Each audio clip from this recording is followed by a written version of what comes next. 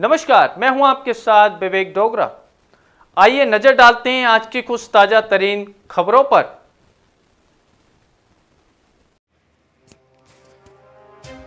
सागर भाजपा कार्यालय में आज बरौदिया नगर परिषद से अधिक संख्या में लोग उपस्थित हुए, निर्विरोधक निर्वाचित बरौदिया नगर परिषद होने पर माननीय मंत्री जी का आभार व्यक्त किया। साथ ही उन्होंने कहा कि कांग्रेस मुक्त भारत होने का मोदी जी का सपना खुरई विधानसभा में देखने को मिला। महापौर के लिए पार्टी से तेरह लोगों ने टिकट मांगा था, लेकिन पार्टी से प्रत्याशी घोषित होने पर सभी लोगों ने समर्थन दिया है।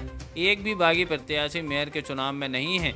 जिन लोगों ने टिकट मांगा था, वो सब भी दिन रात प्रचार में जुटे हैं। सागर, मध्य प्रदेश से नीरज जैन की रिपोर्ट। नगर पंचायतों में कांग्रेस को प्रत्याशी नहीं मिली। तो जिनके भी फॉर्म भरे थे, वो निर्दलीय में फॉर्म भरे थे।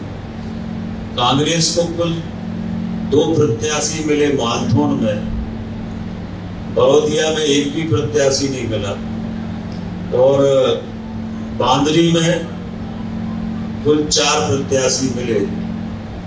तो कांग्रेस अपनी तीनों नगर पंचायतों में पंद्रह पंद्रह प्रत्याशियों के नाम भी तय नहीं कर पाए। और इसलिए जो मोदी जी का सपना है, कांग्रेस मुक्त भारत बनाना है तो विधानसभा उस दिशा में आगे बढ़ रही है।